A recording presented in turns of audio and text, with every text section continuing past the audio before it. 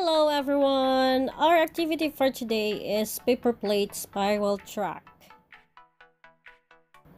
What we need for this activity are glue sticks and glue gun, ping pong balls, paper towel tube, and a paper plates.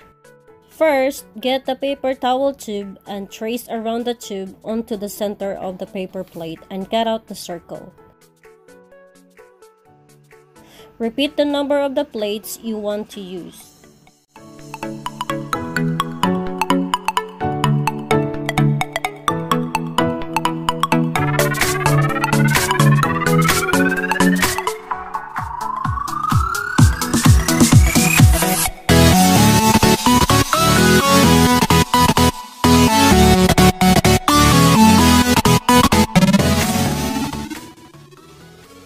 Put mark on the tube between 3 to 4 cm apart.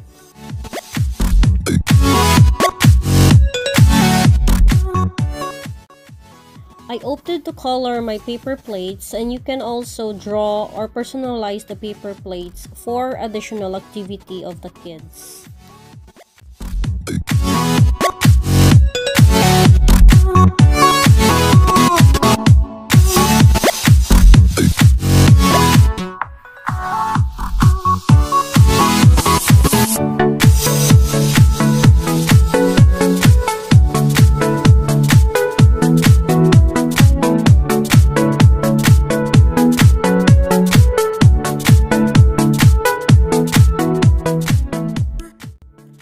Hot glue the plates from the center to the tube.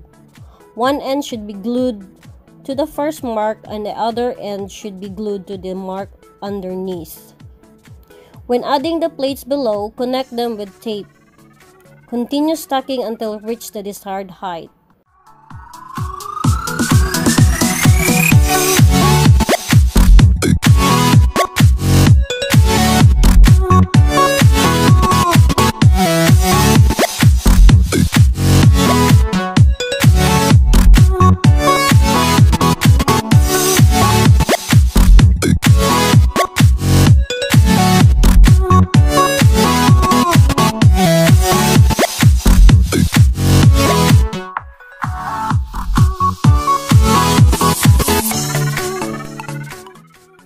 I hope you enjoyed this activity guys. See you!